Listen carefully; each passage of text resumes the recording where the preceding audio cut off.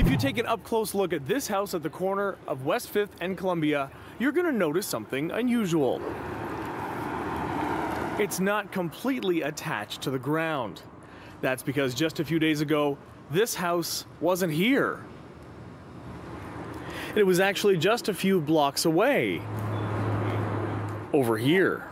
So the owners are very attached to it. They wanted to keep the house, and we we found a way. We navigated through the maze of regulations with the city.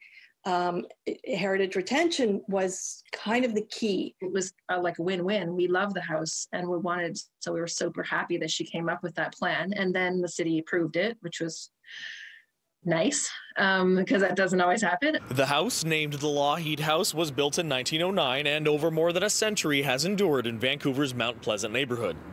And it turns out this isn't the first time this house sat at this property. It's actually being moved back as a part of a new development. A big task requiring some special expertise and teamwork to get it out of that city owned lot. They organize all of this with City of Vancouver Engineering Department.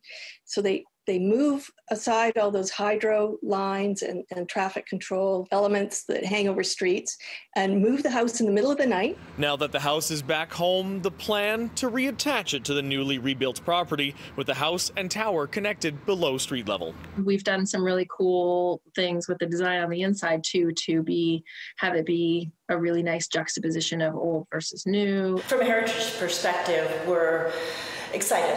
Alyssa Myshock with the Mount Pleasant Heritage Group calls the neighborhood Vancouver's first suburb and says it was once a thriving, predominantly Japanese community. We're quite a large contingent of Japanese that did move into the area, um, partly for fishing, but partly because of the sawmills. But in 1942, the neighborhood would change forever as Japanese Canadians found themselves in wartime being sent to internment camps, their property seized. There is a group of people who helped to build Vancouver, and um, we don't give them enough credit. Following the war, Myshock says a series of building booms through the 60s transformed the former suburb into the industrial park we know it to be today.